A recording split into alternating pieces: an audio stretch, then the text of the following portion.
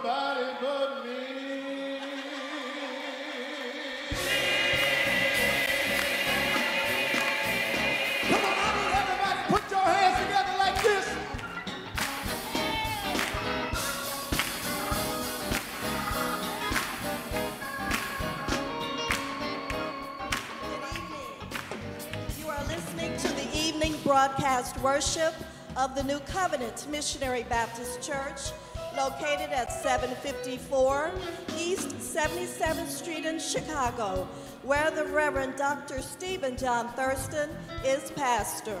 This live broadcast is aired from 6 o'clock until 7 o'clock p.m. on radio station WGCI 1390 AM. We welcome your phone calls, letters of encouragement, and your requests for prayer. Your generous contributions assist us in spreading the good news through the airwaves of Chicago. Send all written correspondence to the New Covenant Missionary Baptist Church in care of Pastor Stephen John Thurston, Post Office Box 198-217, Chicago, Illinois 60619. Or call the church office at area code 773-846-3700. God bless you.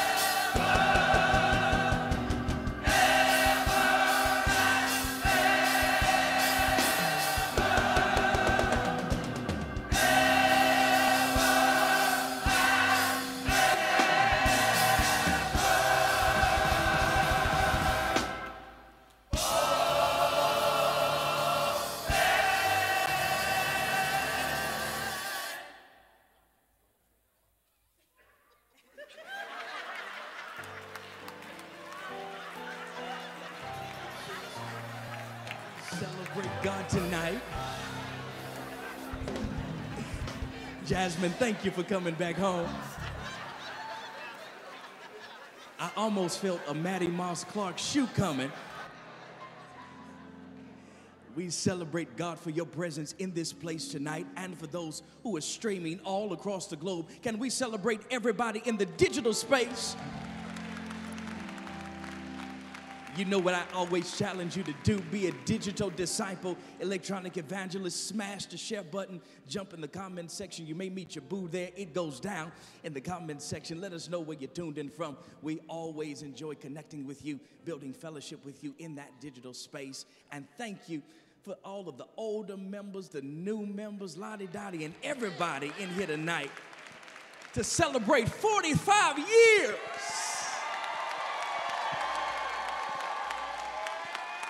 Of amazing ministry, life changing ministry, groundbreaking ministry, future focused ministry.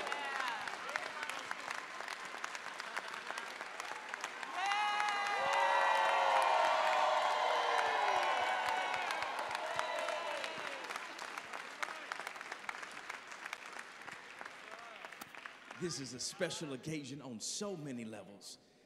First time in the history of this church that a pastor has retired.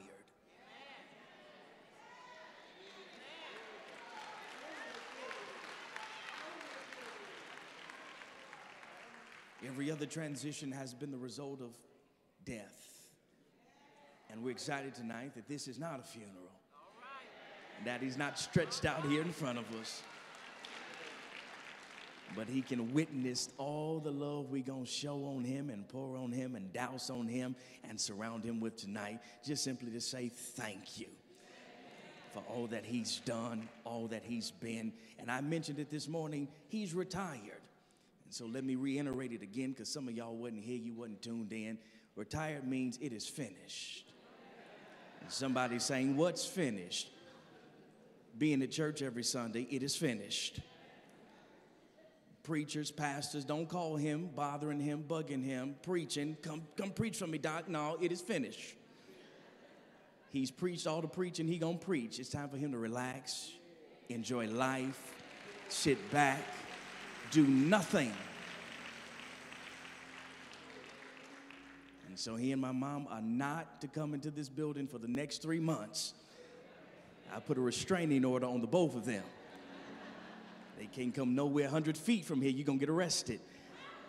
He's not to come here, and we've made sure that he's taken care of for the balance of his life. Wherever he wants to live, whatever he wants to drive, all of that. It's all good. He's handled, he's taken care of. And so we just want to have a flashback tonight. We kicked off, y'all know how we used to do coming on the air at 6 o'clock. So just a little flashback, and then to have all of these choir members here, everybody came back.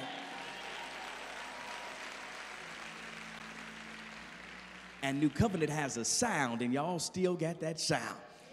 So we thank you. We appreciate you. Listen, I shared before that we're not going to be here all night. By 7:30, we'll be on our way to the crib together.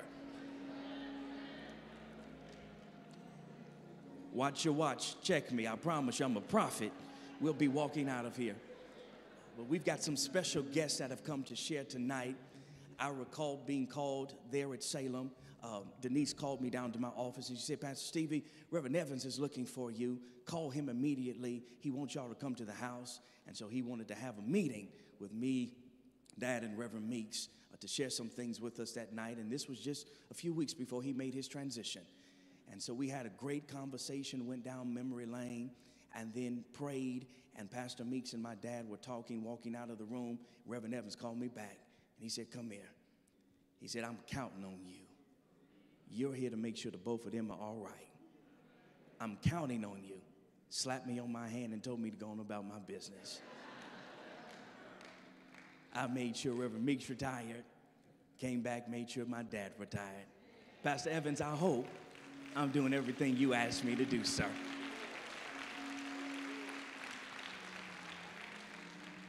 Claudette is here and she's going to share because Reverend Evans was dad, he was grandfather. He was the Godfather. And so we could not have this moment go by without hearing an Evans voice in this place. So, Claudette, come on and do what you do as you represent the family.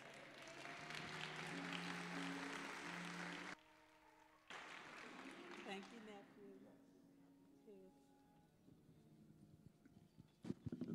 My, my, my, my, my, my, my. That's what my father would say. But let me tell you, I know I'm not him. So I'm going to do this. Okay? And he also would have looked at the program. Um, Reverend Nephew Stephen, you would not be able to get up here and announce anybody because after they sang the Lord's Prayer, he would come up here. Now, let's see. All right, when you see your name, get up. If you don't see your name, stay seated. My father referred to Reverend Stephen Thurston Sr. as his son. My mother called him Ruth's son. Yet I affectionately refer to him as my big brother. We're not related biologically, but the Thurston and Evans are family. And what God has joined together, y'all know the rest. Each time we speak, he say, how the boys treat ya. Do you want me to talk to the Lord about them? And you know, Reverend always has a humorous quip on any and everything. He and my dad had, they would tell jokes like, You're gonna go to hell if you ain't gonna stay long. New Covenant has a rich legacy which lends us to understand the great legacy of this being a great church. But I heard, I heard, I heard, I heard like Reverend Elijah, I heard Thurston would say, I heard my father, the late Reverend Clay Evans, say that Reverend Stephen Jr. reminded him so much of Reverend Elijah Thurston. It's a legacy. I would like to paraphrase Acts 13:36. Reverend Stephen Sr., Mrs. Ruth's son, my brother, like David, you have served to the will of God in our generation and contemporaries. Past president of your national convention, succeeded your father, buried both parents and two sisters, built this beautiful edifice, pastored a congregation full of Negroes, counseled many, and with my bonus sister, Mrs. Joyce Thurston, raised a family. You have served. The end of that scripture said David took his rest. Brother, just go home. Pull the covers over your head and know that everything will be all right with Reverend Stephen Jr. And as daddy would say, it's all right now. My mother would say to you, when you have done your best, take solace in knowing that all the Lord requires is your best. Big brother, I'm going to conclude with my favorite scripture Philippians 1 6. I am convinced and confident that the Lord, who has done a great work in you, will complete it. And rejoice, enjoy, and remember, you've got angels dispatched watching over you. I love you bunches. That's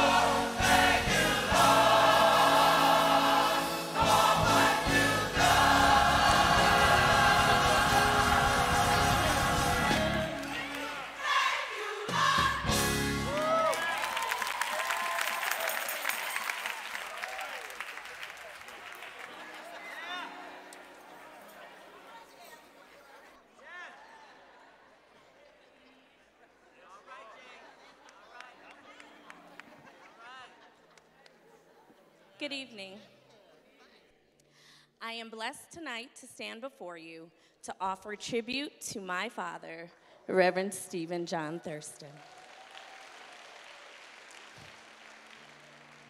I have had the privilege of listening to many tributes over the past few months, highlighting the impact my father has had on friends, colleagues, members, and family.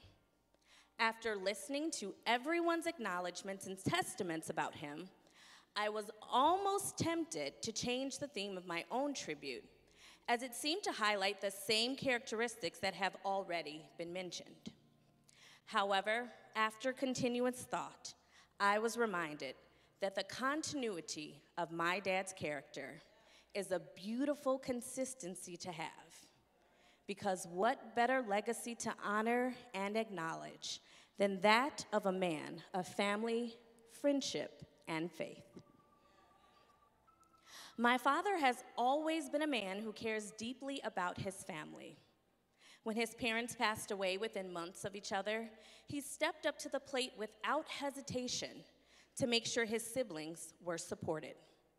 He still takes that role very seriously to this date, even continuing to call his sister baby Kathy, even though she is fully grown with a family all her own.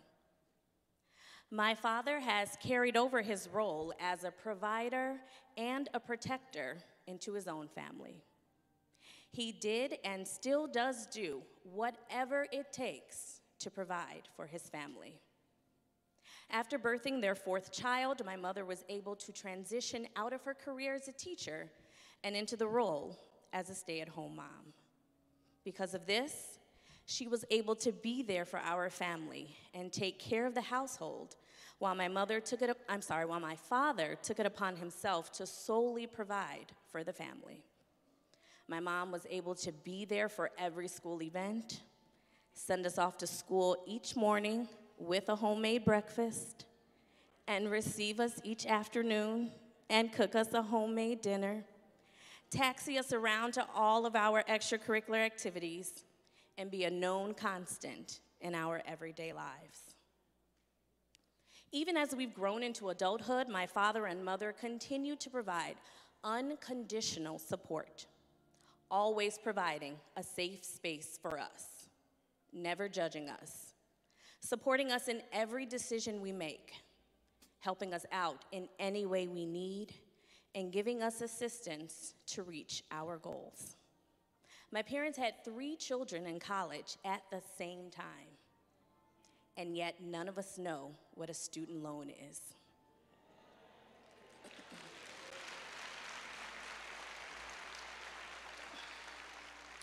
It wasn't until I went to college that I fully understood the blessing I had having you as a father.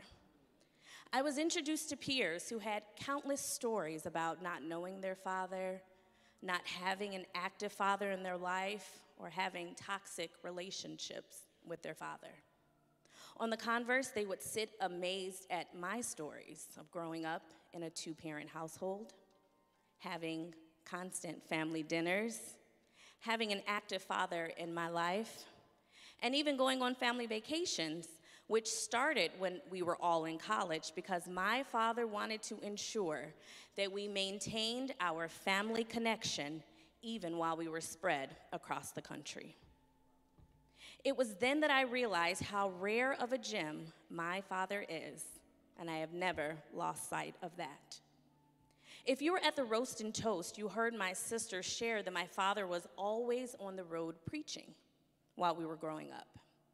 Admittedly, there were times when I didn't fully understand why he would always have to leave every week and why sometimes he would have to choose church work over family time. But I had to learn and come to an understanding that my father was fulfilling his role as a provider as well as presenting himself to the world as an example of what a strong black father is.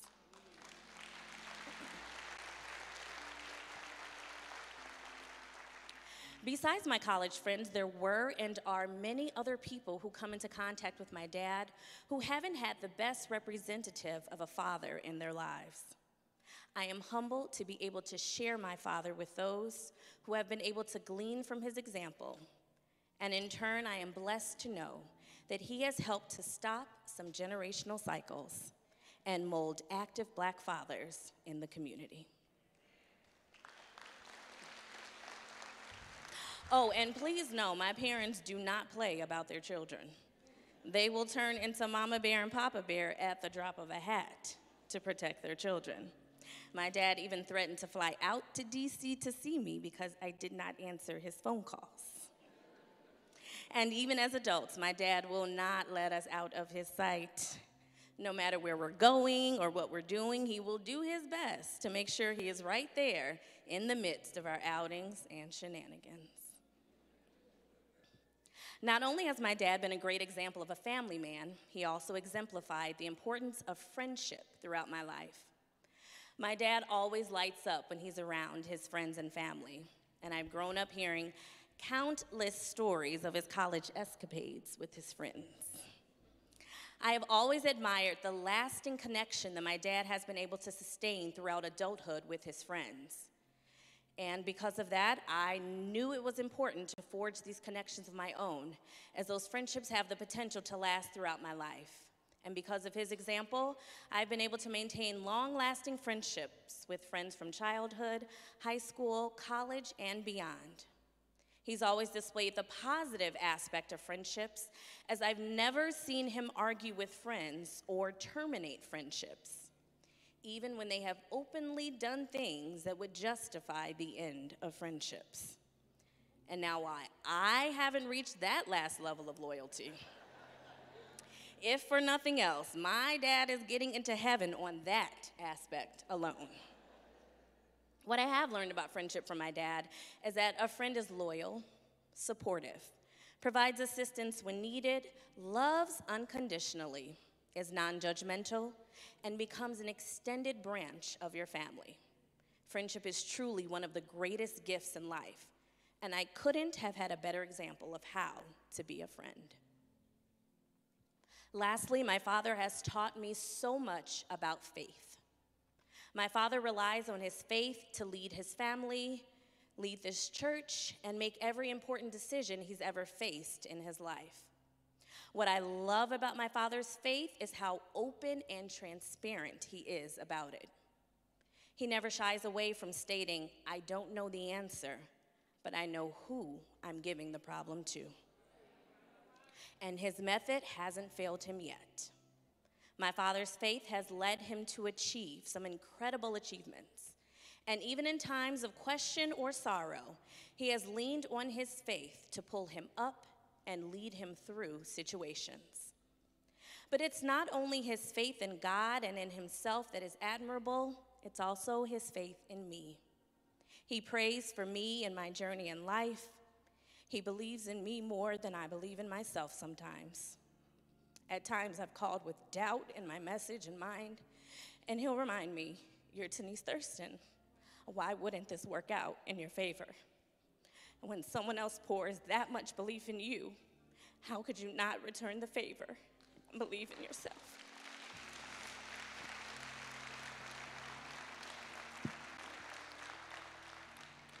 My father has been a gift to me and I wouldn't trade him for anyone in this world. I am a proud daddy's girl, and anyone who knows me knows this to be true. He has given me so much, given so much to my family, his friends, his church, his colleagues, his members. And I want him to happily receive this gift of retirement that he has rightfully earned. He has given so much of himself to his ministry and I am so happy that he is now in a position of receipt. And we are able to give to him a portion of all that he has given to us.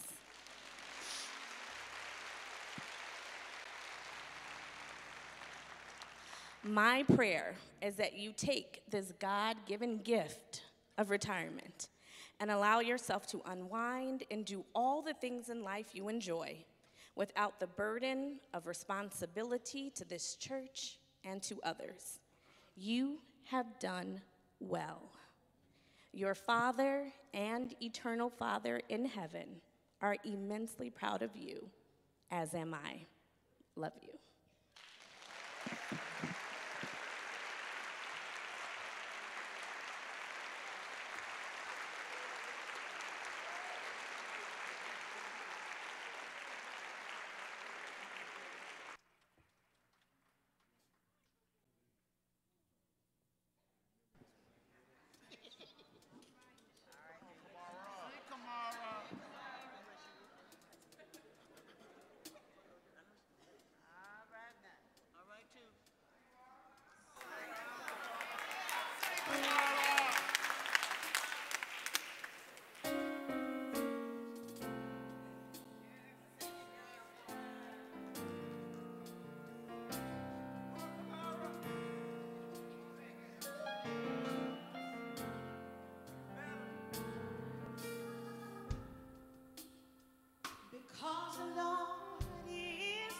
shepherd. I have everything I need. He lets me rest in the meadow's grass.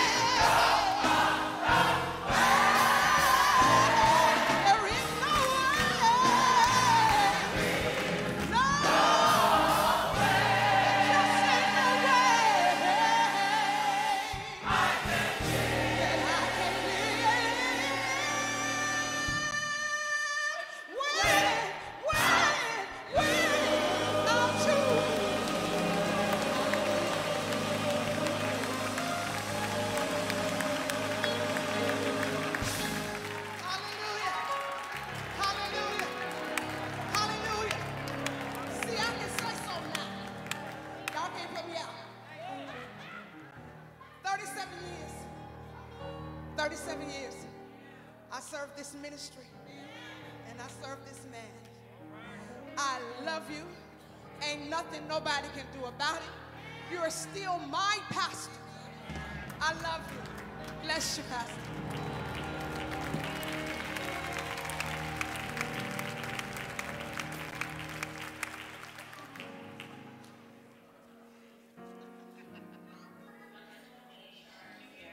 serves as senior pastor of the Fellowship Missionary Baptist Church. Under the leadership of Reverend Sharpe, Fellowship Chicago has experienced astonishing growth in all aspects of ministry. Sharpe earned a Bachelor of Arts degree in religion from Morehouse College, a Master of Theological Studies from Vanderbilt University Divinity School, and a Master of Theology degree from Candler School of Theology at Emory University. Reverend Sharpe is one of the charter members of the Academy of Preachers, was one of the youngest inducted into the Martin Luther King Jr. Board of Preachers at Morehouse College, and taught as an adjunct professor in the Religion and Philosophy Department at Morehouse College. Among his many distinctions, Reverend Sharpe is a member of Alpha Phi Alpha Fraternity Incorporated. In December 2015, Reverend Sharpe married the gifted and talented Brianna Sullivan Sharpe. Get on your feet, New Covenant, and welcome Pastor Reginald Wayne Sharpe Jr.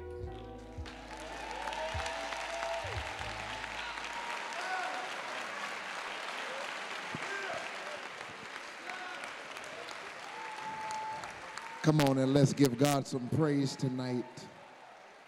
From the rising of the sun to the setting of the same, the name of the Lord is worthy to be praised. On this Resurrection Sunday evening, give God some praise in this house. And while you're clapping, can we thank God for a giant, a general, God's preacher, a man with the gregarious spirit. Help me thank God for the one and only Dr. Stephen John Thurston Sr. We celebrate you, man. You deserve all of this and some. New Covenant, where are y'all tonight? Come on, make some noise for this great church. Amen, amen. You may take your seats. I am so, so, so honored to be here. And I leaned over to Reverend Stephen Thurston Jr., who is another man we need to celebrate tonight because he's about to be the Joshua to a Moses. Can we thank God for Reverend Stephen Thurston Jr.? Come on, help me celebrate him. We're praying for you, and you have siblings, brothers, and sisters all over this city that will have your back in this next season of New Covenant's life. I leaned over to them. I said, Y'all set me up tonight. All of these preachers in this house, I'm talking about legendary preachers in this house, and they put me up to preach tonight. After I've preached four services at fellowship, barely have a voice, with every pastor every bishop, every evangelist, every prognosticator of the gospel, please stand so I can acknowledge you tonight. Come on, help me thank God. OMG. Come on, help me thank God. We got some preachers in the house. I see you back there. And I want to just jump into the word, but I can't do that because you have so many living legends in the room when Reverend Jesse Louis Jackson is in the room, you got to honor him. You got to you got to celebrate that. Come on. You got to celebrate that. Yes, Lord. When his son, the Honorable Congressman Jonathan Jackson, is in the room, you got to celebrate that. When Mama Lou is in the room, the last living founding member of Fellowship Missionary Baptist Church. Y'all help me show some love, Chicago. Oh, that's special. And to this great cadre of preachers of the gospel, Reverend F.D. Sampson, uh, Reverend Larry Howard, to all of these, Dr. Pointer, Dr. Charlie Dates just walked in. Jesus Christ. All right, now who just want to get the mic and come on and talk about Jesus for a minute? And you cannot celebrate Dr. Stephen John Thurston and not celebrate his lovely wife who's been right there with him all these years. Come on, help me celebrate Mama Thurston.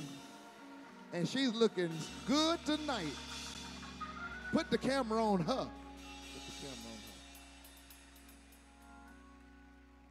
We're not going to be in here all night long to everybody, to lottie dottie everybody. Look at the person beside you and say, I'm glad to see you too. I'm glad to see you too. And there's one more group that has sacrificed more than a lot of people the Thurston children. Can we thank God for their sacrifices of sharing their father with us all of these years? God bless you. Y'all stand up. Y'all looking good tonight. You put on your Easter clothes. Come on, stand up, stand up. Look at them, look at them. In church, I know there's a God. I know there's a God. I love y'all for real, for real. And to to Fellowship Church that has allowed me to serve as their pastor for five years. Wherever you are, make some noise, Fellowship. I love you. Thank you for being here tonight. We came because we loved you. I'm not going to pretend like I have a check in my pocket for you tonight, but before this week is over, Fellowship is going to sow into your life to let you know we appreciate what you mean to our church and to the city of Chicago. God bless you. Come with me to Luke chapter 5, verse 1 through 6. I'm good and sleepy like everybody else, but I'm asking the Holy Ghost to sweep through the room and help us all. Thank God for my mother and my mother in law who are in town from Atlanta. We're glad that they're with us today. Luke chapter 5, verses 1 through 6. There's a brief word that God has given me that I want to share as the Spirit shall guide. Luke chapter 5, verses 1 through 6. Once while Jesus, out of the New Revised Standard Version, once while Jesus was standing beside the lake of Gennesaret or the Sea of Galilee, and the crowd was pressing in on him to hear the word of God, he saw two boats there at the shore of the lake. The fishermen had gone out of them and they were washing their nets. Everybody say nets. He got into one of the boats, the one belonging to Simon and asked him to put out a little way from the shore. Then he sat down and taught the crowds from the boat. When he had finished speaking, he said to Simon, Put out into the deep water and let down your nets. Let the church say nets. Let down your nets for a catch. Simon answered, Master, now listen, let me keep it 100. We've been out here all night and we haven't caught jack. We haven't caught a minnow, a tadpole, a crappie, a brim, we've caught nothing. Yet, if you say so, I will let down the nets. Let the church say nets. When they had done this, they caught so many fish that their nets, let the church say nets, were beginning to break.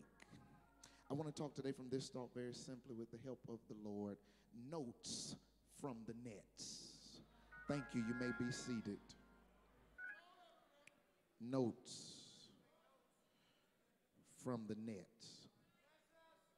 Normally, when a preacher peels open this particular pericope, the preacher focuses in on Jesus' teaching voice. And oh, what a teacher he is! He's a master rabbi. In Greek, he's a didaskalos. Jesus is a teacher. More, more than just a man walking around healing people, he was a teacher.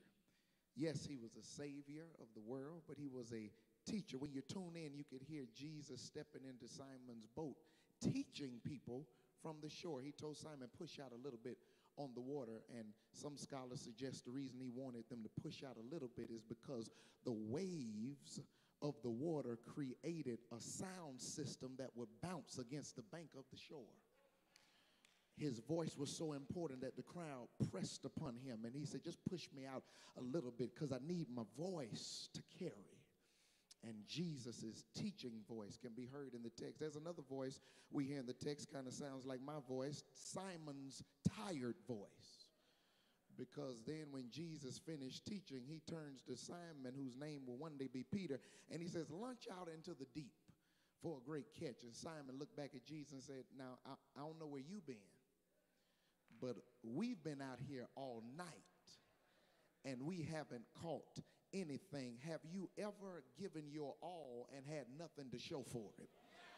Have you ever sacrificed a lot and when you looked at what you had at the end of the day, it did not match the energy that you invested into that project. And you looked to be Jesus and said, Now I know you Mr. Jesus, but but I'm Mr. Simon, and we we we've been out here all night and we haven't caught anything. Yet, if you say so, we'll go out there and try again. I, I hear Jesus' teaching voice. I hear Simon's tired voice, but there's another voice. If you lean in a little bit in the text, I hear the voice of the nets tonight. And I hear the nets with their testifying voice. I hear these nets in the text saying, Preach me, preacher because every time we go to this text, we normally focus on Peter's faith or Jesus's admonition. But I dare you tonight to let a net talk to you. Because if we lean in to the net's voice, you will hear that the net understands a whole lot what it feels like to be a pastor for 45 years if you lean into the net's voice tonight, you'll, you will quickly discover that this net understands what it is to feel like a black person in America. If you lean in to the nets tonight, you will quickly discover that these nets, Auntie Claudette, understand what it feels like to be under pressure and to be used and to be called to carry something that's heavier than you. If you lean into the nets tonight, the nets are just waving at us from the text saying, please please, preacher, lean in. I have something to say on this occasion of Pastor John, Stephen John Thurston's 45th retirement celebration. The nets are talking to us tonight. These were not just nets that had a handle on them. Uh, scholars agree that these are Trammel nets. Let the church say Trammel nets. A Trammel net consists of three layers of netting with a slack, small mesh inner netting between two layers of large mesh netting within which fish would get entangled when they thought they could get through one layer, they'd get caught in the second layer. I said there are three layers of netting with a slack, small mesh inner netting between two layers of a large mesh netting, and the fish would get caught thinking that they could get free. Trammel nets are held vertically in the water by weights on the bottom, and it floats on the top. And so you would tie one end of the Trammel net to one boat and you try the other end of the Trammel net to the other boat and they would go out in the water together and whatever gets caught in the net at the end of the catch, the two boats and the two fishermen would pull up the ends uh, of the net and whatever was in it was the catch of the day and the net told me to tell you I have something for Pastor Thurston. I have something for Chicago tonight if you're just willing to listen to the testifying voices of these nets. Do y'all want to know what the nets have to say? The Nets first have to say, notice the service of the nets. Notice the service of the nets. These nets were only useful when they were in the deep, uh, and usually fishermen fished in the dark, uh, and they only were worth what they were created for once they got dropped. It's amazing to me that it only worked once it got dropped the miracle happened after it was let down. Nothing was gonna, I'm closer to you than you think I am. You see, when you are a net, you only can function at your full capacity when somebody lets you down. It's after you get dropped. It's after you're in the dark. And it's after you're in the deep. You see, the Sea of Gennesaret was 141 feet deep. It's Israel's largest fresh body of water. It's a lake, and the nets were used in the deep, the nets were used in the dark, and the nets were used once they got dropped. And I don't know who's around this house trying to act on a Sunday evening, but somebody ought to give God praise uh, that I was at my best after I got let down. You don't know what it is to pastor until you are let down by people you lifted up. You don't know what it is to be a servant of the Most High God until you get dropped by people who were supposed to help you with the load you're helping them carry. Where are the folk in the room that can thank God? Although I got dropped, although I was in the deep, although it was dark, I did my best work in the dark. I did my best work in the deep, and I did my best work when I got dropped. Go on and look at your neighbor and say, Neighbor, those nets sound like me. And the reason we come to celebrate Pastor Thurston is because all these years after he's been in the dark, after he's been serving in the deep, and after people dropped him, he still came up catching fish. Oh, I need somebody to put a better praise on that. I know these seats are comfortable over here at New Covenant, but help this little black preacher preach and give God some glory that after all you've been through, I'm still fulfilling what I was created to do after you dropped me, after I've been in the dark, and although I've been in deep water. We came to say thank you because we don't know the days where it was dark but everybody else thought it was light. We don't know the days you were in the deep, but everybody else interpreted it as shallow water. We don't know the moments where you got dropped and let down, but I'm so glad God will fix you in a way that you're at your best after you've been let down. Oh, that's the service of the nets. But the next, and I'm not through, I want you to notice not just the service of the nets, notice the supporters of the nets. Because the text says when Jesus walked up on them, these two boats were on the shore, and the fishermen had gone out of them, and they were washing their nets. Uh, you, you see, although they didn't catch fish, it doesn't mean they didn't catch something. And there's sometimes trash in the nets and there's debris in the nets and there are rocks in the nets and there's vegetation and weeds in the nets. There's sand in the nets and because there are three layers of netting it's easy for useless stuff to get caught in the net. But thank god for somebody that wasn't just using the nets but they love the nets enough to help wash them and preserve them because when you wash the net, you're not just eliminating trash, you're also making sure it's preserved for the next excursion because when you wash the nets, the nets needed the moisture out there in the hot Palestinian sun. And when you wash the nets, you ensure it won't break and become brittle in the heat. You need people in your life who don't just use you to go catch what they need, but they love you enough to support you, to pour back into you once you've been used for their gain. And who around Chicago, after all of these Easter services we had, we came to be a supporter of the net tonight and say, Dr. Thurston, Chicago loves you. Dr. Thurston, we don't just want to use you, we came back to support you. And thank God, after 45 years, you still clean, man. You still in your right mind. Where are the supporters of this preaching net? Who can say, I didn't just come to take, I came to give. And let me tell y'all something around here. You better watch who's in your circle because everybody in your circle ain't in your corner.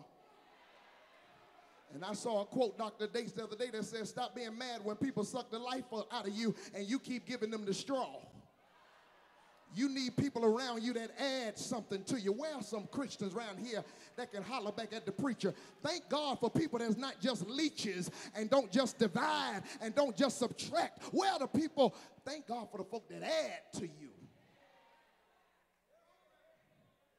Well, we came to be supporters of the Nets tonight. After all he's caught, we came to make sure he knows we're not just interested in pulling another hoop out of you and we're not just interested in taking something else from you, we want to pour back into you.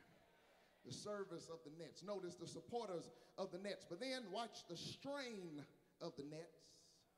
Verse 4 says, And when he had finished speaking, he told Simon, Now put out into deep water and let down your nets for a great catch. Verse 5 Simon answered, Now, Master, we've been out here all night long. We've caught nothing. But if you say so, I, am not going here, but can I just pull the call for a minute and, and just check my engine light for a second? Do I have any, if you say so, Christians? Yeah, that's what I thought. I heard 20 people. I heard 20 on this side, 10 on this side. Do I have any folks, if Jesus tells you to do something crazy, even if nobody else supports you, just because he said so, you will go out and try again because he said so? They went out there and when they had done this, they caught so many fish, slow down, that their nets were beginning to break. I wish I could articulate to you how heavy it is to carry this call. All these fish in your net. And, and sometimes you look like you got it together as a pastor, but it strains you. I wish the preachers would holler at me. It's, it's stressful trying to I, I know we were made to do it i know we were created to do it but even though you're created with the functionality to hold the weight it doesn't mean you don't feel strain i'm talking to some mama in the room and you love them little knuckleheads but sometimes it's a strain I'm talking to somebody right now. You pray they fire you next week because you're so tired of the job you're working at. If they lay you off, you would, you would just call it a vacation because you're strained.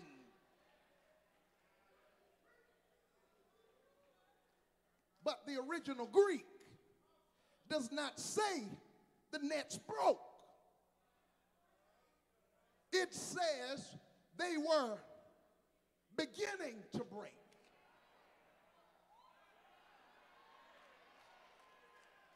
Now, uh, this is my fifth service of the day, so either y'all gonna help me or no. Is there anybody around this house that can thank your God with all you've been under? You still have not broken yet with all the pressure you felt, you still have not broken yet. Somebody ought to turn up on a resurrection evening and give God your best praise because after everything you've been under, it still did not break you. They lied, but it didn't break you. They started rumors, but it didn't break you. They were working against you, but it didn't break you. As a matter of fact, reach over and shake your neighbor's hand like you're going to shake it off. Don't be bougie now. Go on and shake that hand like they owe you $20 and say, neighbor, I don't know about you, but I should have broken with everything I've been under. But I thank God I'm still intact. Now unto him who's able to keep you from falling. The light didn't break you. The funeral didn't break you. The hospital didn't break you. Cancer didn't break you. Your enemies didn't break you. Somebody ought to rejoice that you're still intact. Let the redeemed of the Lord. How about three people say it didn't break me, it didn't break me? How about three more people and say it didn't break me? It didn't break me. The devil tried it. But I'm just like Celie.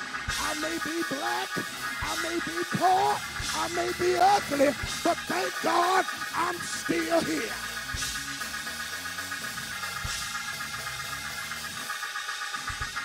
Praise him because you didn't break. Praise him because you're still here. Praise him because he kept you together. And you want to know why you're still here?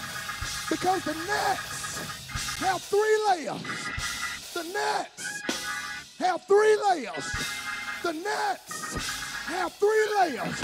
One are they sharp? One for the Father, one for the Son, one for the Holy Ghost. High five your neighbor and say, neighbor, I'm glad you made it.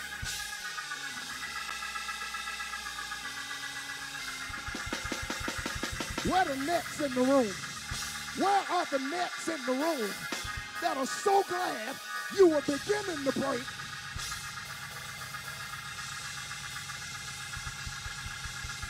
Can you do me a favor? And reach over and hold one more hand.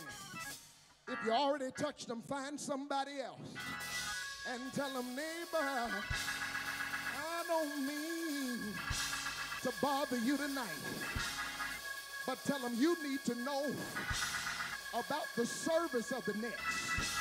Tell them you need to know about the supporters of the Nets. Tell them you need to know about the strain of the Nets. But tell them one more thing. You need to know about the shift for the Nets. The Nets said everything was looking bad until a man named Jesus walked on the shore. And my pre-Jesus narrative looks a whole lot different than my post-Jesus narrative. I wish I had a witness on resurrection evening that could just wave your hand to heaven and thank your God for Jesus because Jesus makes the difference. The Nets and Dr. Thurston have the same testimony.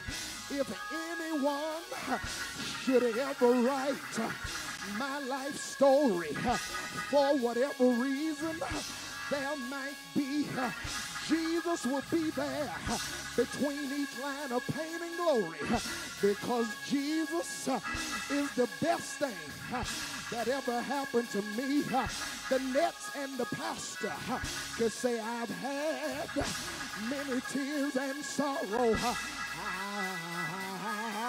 I've, I've had questions for tomorrow.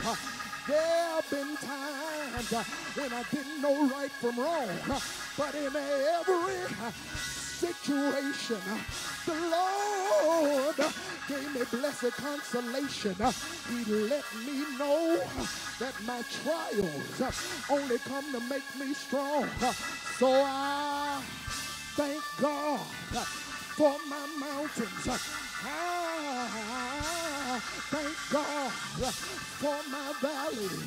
I thank the Lord for every storm He's brought me through. Because if I never had a problem, I wouldn't know God could solve them.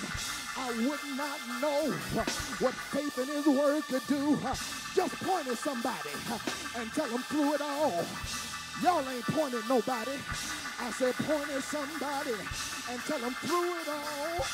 I've learned how to trust in Jesus. Through it all, I've learned how to trust in God. Is there anybody that can help this little preacher give God some glory? Because Jesus always makes the difference. Since his resurrection, can I tell you how he really did it? One Friday, he died. Didn't he die? And he died uh, unto the S-U-N. Got a text from the S-O-N uh, that two suns uh, can't shine at the same time. Oh, he died until the moon dripped in blood. Oh, he died until the earth gave up the dead. Died until the centurion soldier said, surely this must be the Son of God.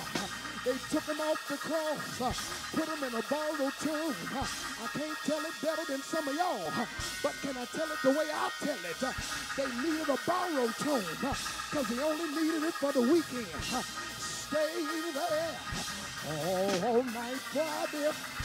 Stay there all night Saturday. But early Y'all not gonna help me on Easter.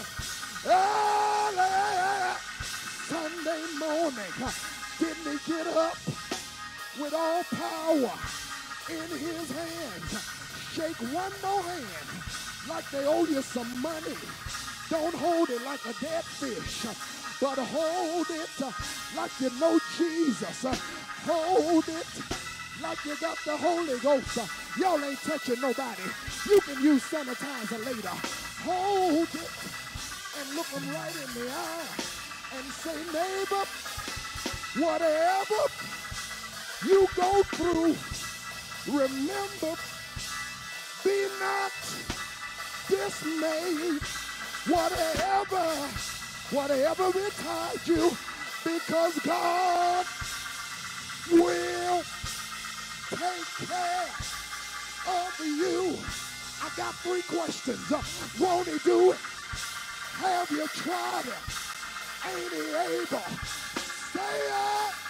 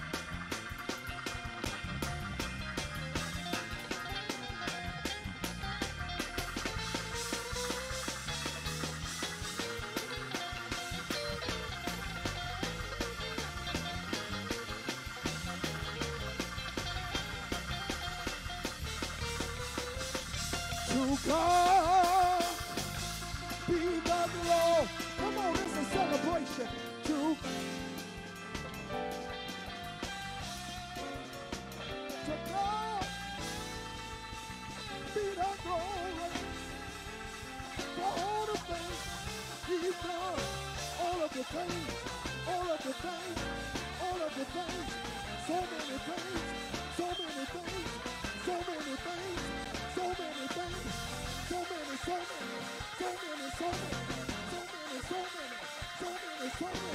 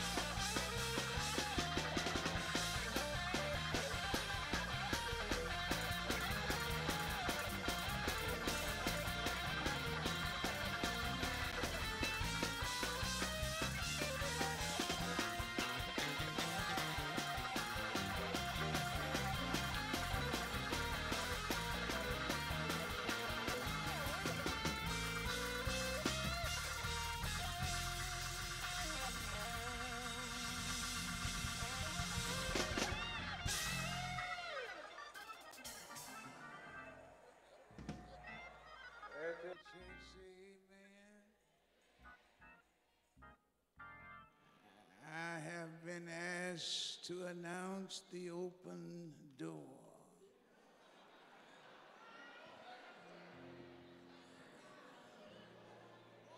The privilege of membership.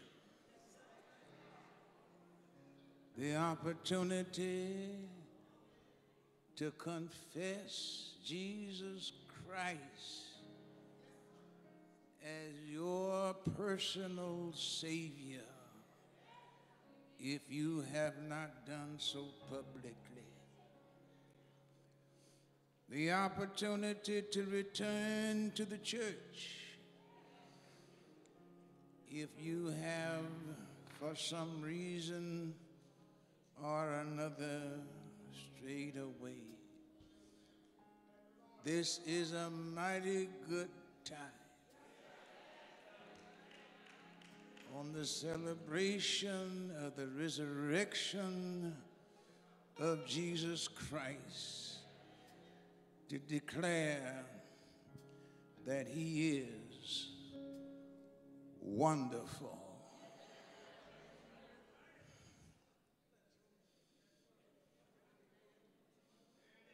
Give me A flat major, please.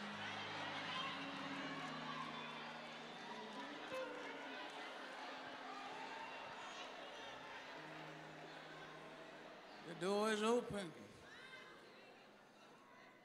Wonderful.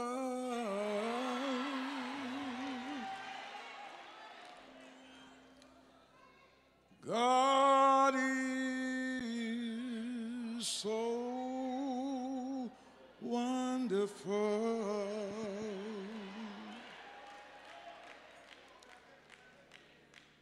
Wonderful. God is so wonderful.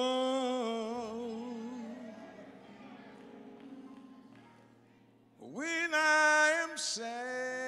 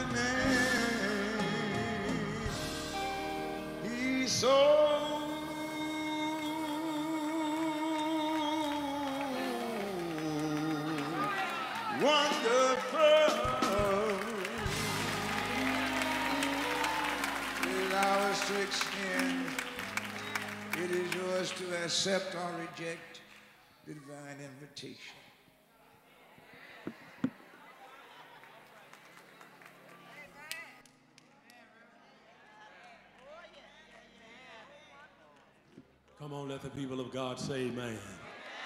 Put your glad hands together one more time and praise God all over this building. Let's thank God for this marvelous and magnificent messenger. Uh, Dr. Sharpe, let's give God a thunderous applause for him. Thank you so much. Thank you so much, my brother, for blessing us today. Thank you, Dr. Sampson, for extending the invitation to discipleship.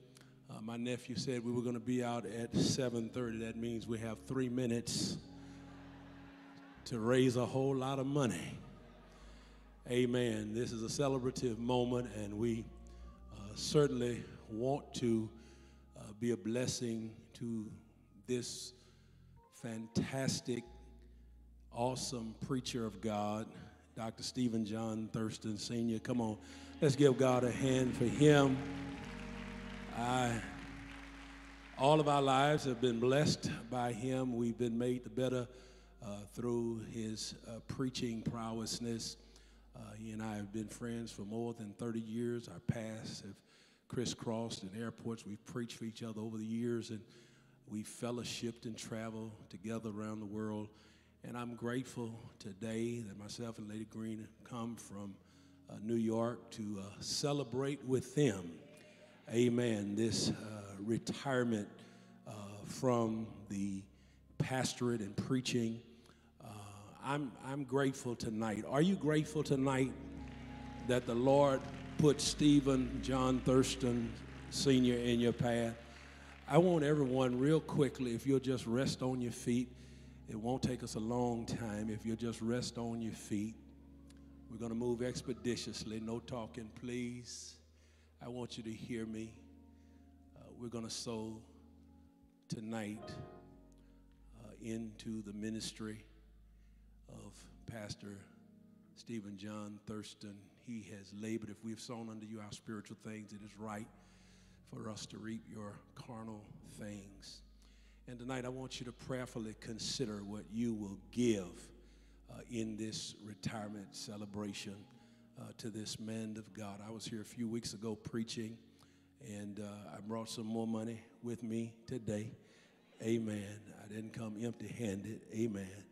Uh, and I, I want all of the pastors who can, if you can't, don't get mad at me for asking. But I want all of the pastors who uh, will give a $1,000 tonight. A $1,000. I'm asking you for a 1000 Johnny Miller, God bless you. I just saw you the other day in Nashville, man. You everywhere. Amen. I'm asking the pastors, everybody remain standing, please. Amen. All right, Dr. Sampson, thousand already in the envelopes. Amen. Amen. Dr. Edward Davis, a thousand. Amen. All right. Any other pastors want to sow a thousand dollars tonight? Dr. Johnny Miller is going to give a thousand. Dr. Joel Taylor is giving a thousand dollars. Can I get five more pastors? About six, seven more pastors. Dr. Sharpe is giving a thousand. Dr. Charlie Dace is giving a thousand. If I can get about five more. Oh, this is third check. He wants y'all to know. Amen. Y'all give Joe. That's what brothers do. Amen, Joe. Amen. I need about three more pastors who will sow a seed of a thousand dollars tonight. Amen. All right. Amen. I know we have three more pastors. I'm not begging, I'm asking. I know we have three more pastors. All right, every pastor who will give $500 tonight, every pastor who will give $500 tonight. Amen. Thank you. Thank you, preacher. Oh, they did it. All right. All of them didn't do it this morning. I've been pastoring long enough know all of them didn't do it. Amen. Thank you, Doc. Thank you. Give me your name. Wheat. All right. Bless you, Doc. Thank you so much. 600. Amen. Thank you, Doc. Thank you. 500. Thank you. Thank you. Amen. Dr. T.J. Jemison used to say, if you're going to sit high, you got to pay high. Amen. But tonight we're grateful. Thank you so much. Any other pastors? All preachers, all preachers in the house. If your ministries have been blessed by Dr. Thurston, will you come with $200? All preachers, all preachers, all preachers, all preachers. Do we? I saw a lot of preachers standing. Uh, we acknowledge a lot of preachers. Thank you, my brother. Thank you. All right, where are the preachers in the house? Come on. Come on. I'm looking, I'm waiting. Preachers, thank you. Thank you, brother. Thank you so much. Thank you so much. Thank you. Thank you so much. Y'all get this preacher a hand. Give him a hand. Thank you so much. $500. Amen. Now, I'm going to ask all of the persons who are in this place under the sound of my voice. This is a minuscule ask for a preacher of this caliber. This is a minuscule ask for a preacher. Hey, Doc, good to see you, man. Thank you so much. Thank you, Pastor. Thank you so much, preacher. Thank you so much. This is a minuscule ask. Ah, Dr. Thurston has been pastoring this church for 45 years. That's a long time. Amen. He has emptied himself. He has left it all on the field. Amen. So I'm talking because somebody else is coming. I see it. Yeah, see, I, I can see money a long ways. Amen. Thank you, sir. Thank you so much, brother. Thank you. I'm going to ask every person if you've been a member of New Covenant, if you're still a member of New Covenant, if you're a returning member of New Covenant, if you've been blessed by the radio broadcast down through the years, or just the preaching ministry of Stephen John Thurston if you will get a $100 in your hand, please, please do that for me. Please. I know you knew this day was coming. We've been getting ready. Amen. We have been getting ready. Amen. Bow your heads with me. Bow your heads with me in prayer. And I want you to prayerfully consider sowing the seed in Dr. Thurston's retirement. Our Father and our strong God, we thank you for who you are. We thank you for what you've done. Thank you for all that you've been in our life. Thank you for being our Lord. Thank you for being our risen Savior. Thank you for this wonderful day of celebrating the resurrection. Thank you for this awesome opportunity to celebrate this outstanding preacher, this pastor, this evangelist, this past president of our national and denominational body. Thank you for blessing his wife and children. Thank you for blessing the new covenant church. Now, Lord, move on the hearts, the altar of the hearts of the people who are gathered in this place that we call New Covenant. And may they give generously and liberally to your servant. In Jesus' name we pray. Bless the gifts and the givers. And all the people said, Amen. Do, the, do we march around, Steve? Oh, they going, okay. All right, no marching, okay. All right. All right. Okay, there's a drop down for the uh, pastor's love offering on the giving app. You see on the on the screens the different ways. Those of you who are watching, we have preachers and people all across the country who's been blessed by Dr. Thirst. Thank you, Doc. Thank you so much. Who's been blessed by Dr. Am I looking at this right? Brother Callahan, him, they just gave a check for $10,000. My God. I don't live in Chicago, but if you have a loved one that passed away anytime soon, y'all call Callahan. I'm on Callahan's team. Amen. Y'all keep calling Callahan. Amen. Somebody say, Lord bless Callahan. Amen.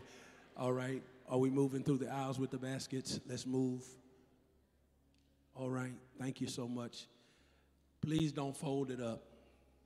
Please don't fold your money. Thank you. Thank you so much. If you're watching online, pastors all across the country, pastors all across the country who are watching online, please, please sow your seed. Go on the app. Go on the app. Amen. Givelify. Amen. The Cov Shy. Amen. The CovChicago.org. Scan the QR code, the Cov, and you can mail your donations. P.O. Box 198217, Chicago, Illinois 60619. If you're mailing it, if you're mailing it, send it to that address. Thank you so much, precious people. Thank you so much. Thank you so much. Thank you so much. Thank you so much. Thank you all for staying. Thank you for not running out on the offering. Amen. Y'all know how some folk are. They enjoy all this good preaching, shout on credit. Amen.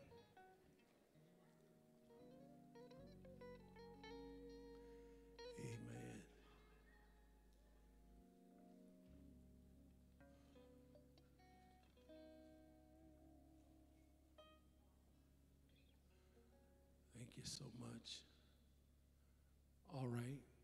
Has everyone had an opportunity to give? We don't want to omit anyone. We don't want you to get home tonight and say you forgot to give your offering. Nobody took money for the choir? Thank you for being honest.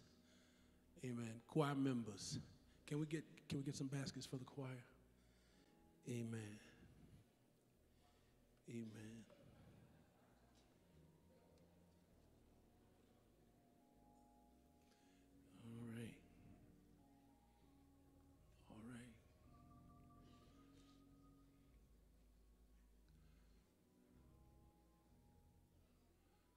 You so much.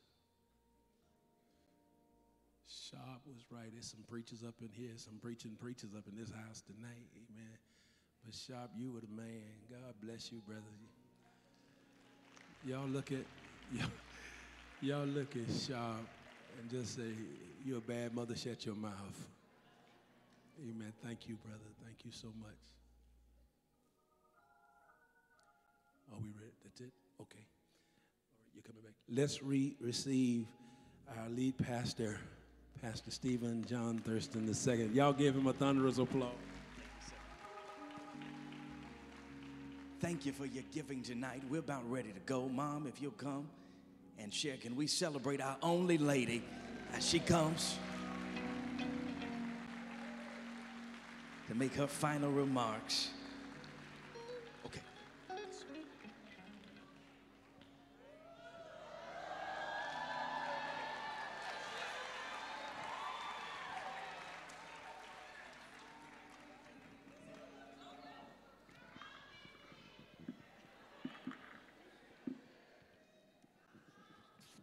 Allow me this moment to take this all in.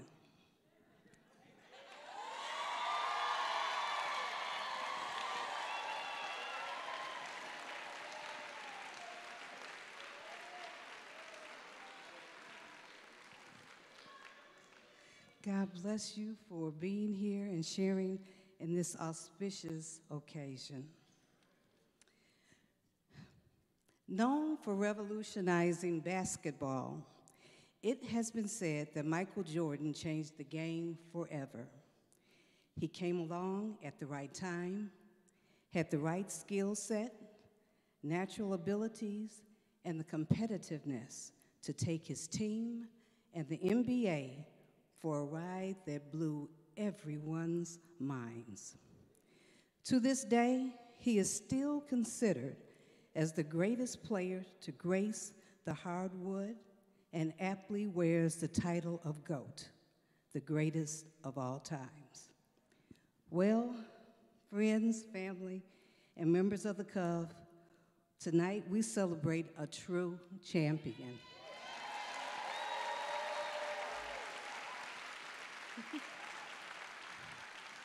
a man who, like MJ, embodies the very essence of what it means to be a leader, a role model, and a pillar of his community, Reverend Dr. Pastor Stephen John Thurston.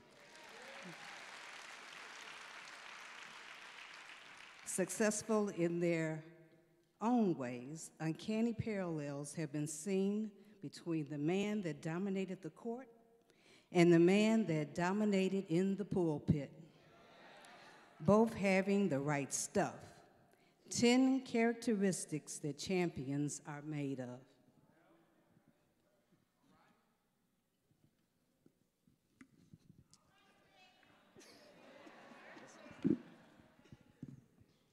I'm gonna go a little bit off the record right now. Um, 45 years, uh, a long time to do anything, and you've done that as the pastor of this church, and I've been around for 36 of those years.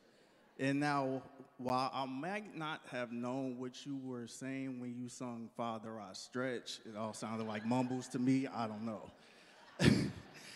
but I do know the trademark of a preacher is to have three points.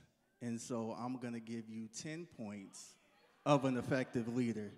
Now, I don't need you to find the right key, that won't be necessary. Number one, your passion and purpose have been motivated by love love for God, His Word, the church, and His people. For over 45 years, your infectious love has been so powerful that it has influenced and impacted a multitude of lives. Number two, expounding on the Word of God, leading individuals to Christ, preaching and teaching all over the United States as well as abroad. Your ability to have effective communication skills have been shown. Your resonating voice and delivery have ignited the souls of people, bringing them to a place of acknowledgement and commitment to Christ and ministry. Number three, assuming the role of pastor at the age of 26 and the pushback from those who doubted your ability to handle the responsibilities. And then in 2008, with the completion of the new worship center, your mental toughness was proven. Number four, through the years, you've learned to pivot and adjust your approach in order to achieve goals, whether navigating financial situations, implementing new programs, or establishing progressive motives and initiatives in the life of the church. You've demonstrated the willingness to take calculated risk and showed adaptability and flexibility. Number five, when you decided that we, you, mommy, Stevie, Nicole, Denise, and myself would live off love offerings. And mommy thought you were losing your mind, rightfully so. You demonstrated confidence and self belief, for you did not let that fear hold you back, but you embraced the challenge and willingness to face the unknown. Number six, you have served on the board of the Chicago Baptist Institute, been the president of the National Baptist Convention of America Incorporated, president of the Illinois National Baptist Convention, held positions with various social, civil, and religious organizations while juggling church and family obligations is a testament to your resilience and your determination. Number seven, focus and concentration were on full display in 2007 when you wrote and published your first book, Attitudes, A Paintbrush of the Mind, while preparing weekly sermons and at times doing 25 to 30 revivals during a given year. Number eight, the value of teamwork and collaboration. You spearheaded and coordinated the joint winter board meetings in 2008, the first time in history that all four Baptist conventions met together. You led the World Baptist Alliance tours to Australia, Fiji, Hawaii, Seoul, Korea, Zimbabwe, Ghana, London, South Africa, Israel, Argentina, Brazil, and Hong Kong. And you served as President Obama's liaison and advisor from a faith based perspective.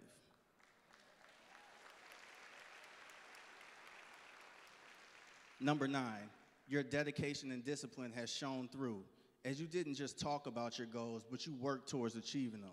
There's no better example of this than when you achieved your doctorate degree in 2023 at the age of 71. And number 10, lastly, champions are leaders. As a husband, father, friend, mentor, pastor, and role model, your leadership has been outstanding and noteworthy. You've been a, protect, a protector, provider, supporter, teacher, and even an ATM or an STM dispenser for numerous people. You've motivated, inspired, guided, and influenced. You've been loyal, compassionate, and have the ability to bring out the best in those around you.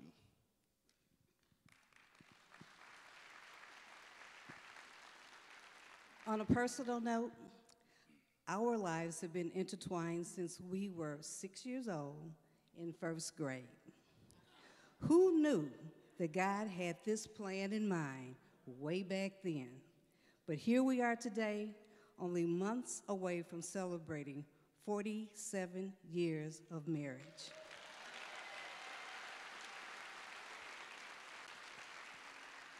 Thank you for sharing the journey with me. MJ said, You must expect great things of yourself before you can do them. Well, man of God, you dreamed big and achieved much through your faith, trust, and obedience to God and the calling on your life. For this and so much more, you are to be commended. Someone once said, Life is not a solo act, it's a huge collaboration, and we all need to assemble around us the people who care about us and support us. To this end, there has been God, your coach, who prepared you to maximize your performance. He motivated, developed, and directed you to reach your potential. It was God who equipped you to lead a dream team. Now, as I call your perspective area, I want you to stand and remain standing. As point guard, the strategic visionary lead executing moves, and one of the shortest players, we have P2, Stephen.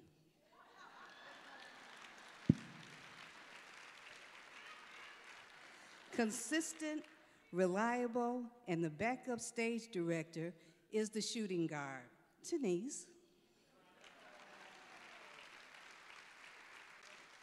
Starting as power forward is Nicole, using her strength through her mouth, blocking and protecting.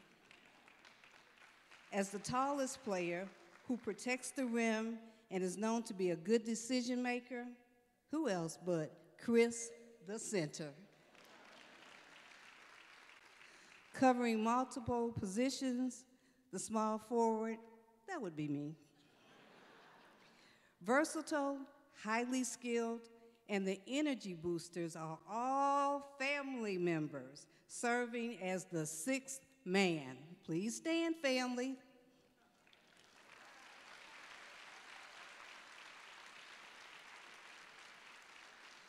providing reliable backup as the bench, our ministers, preachers, deacons, and leaders of the church. Please stand.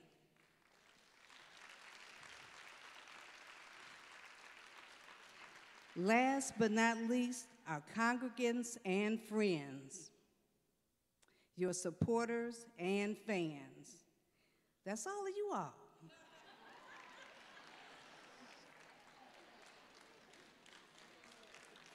Cheering, encouraging, and ramping up their favorite player. I am but one voice, but I represent many when I say that you that as you retire, we want you to know that we love, respect, and honor you.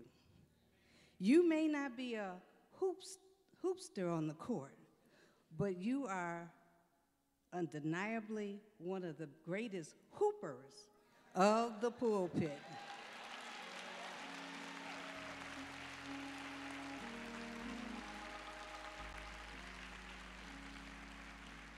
You are our MVP, most valuable partner, parent, pastor, patriarch, and proclaimer of the gospel. You are our champion. You are our GOAT.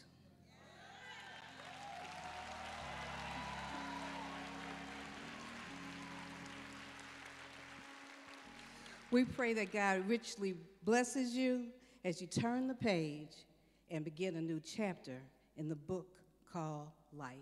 God bless you. I love you.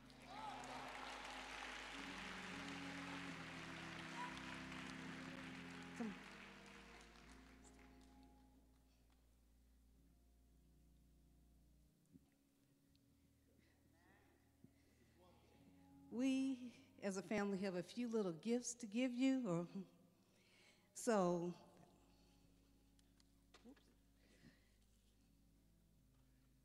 you know, when a basketball player uh, retires, they give them a little something to hang up in the rafters. And so we have a little jersey for you.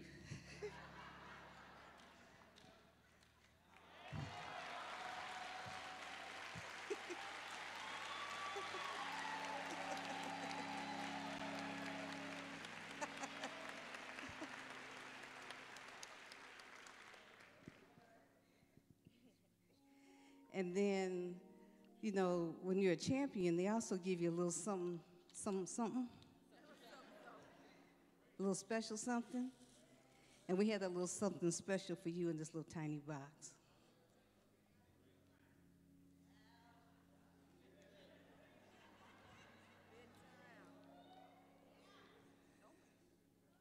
You get your own ring.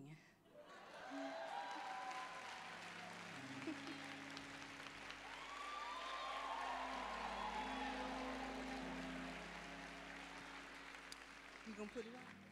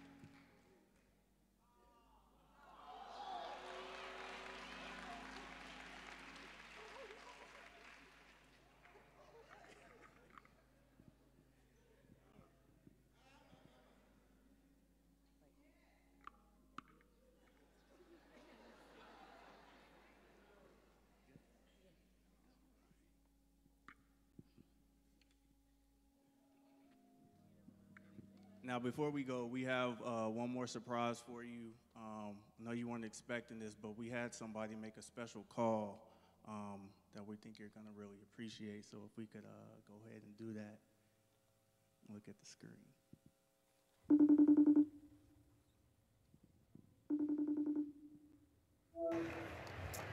Steven. It's Serena here. Um, was at this tennis match thinking about you and wanted to say congratulations to you and your retirement. You know what? Sometimes it's nice to be on the sidelines and kind of watch the match. So enjoy your sidelines. Bye.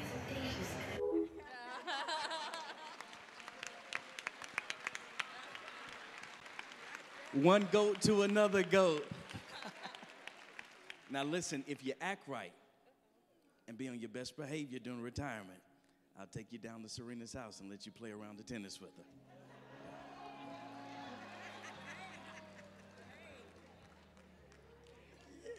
You want to say anything? Amen.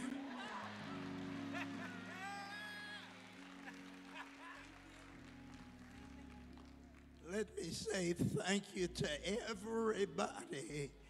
Thank you so much. You have been for me, my wife, my children, and the man that's going to take over this responsibility here at the New Covenant Church. May the Lord bless you real, real good.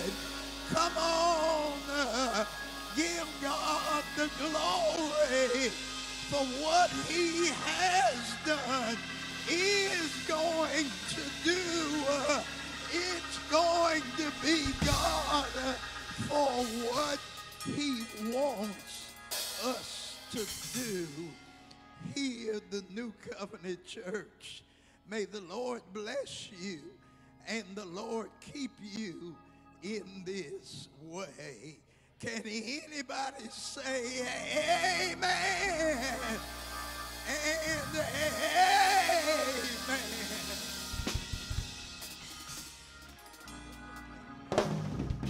Thank y'all so much. Everybody in the digital space, everybody that came in this place. Dad, you gonna shake hands and all of that? Greet the people? Very well. He's gonna love on you, greet you. Um, just don't give him COVID. If you got your mask, put your mask on. We want them to live in retirement. Amen. Pastor Kim, did Pastor Kim leave out? She left. All right. Pastor Johnny Miller, if you'll come and give us our benediction, sir.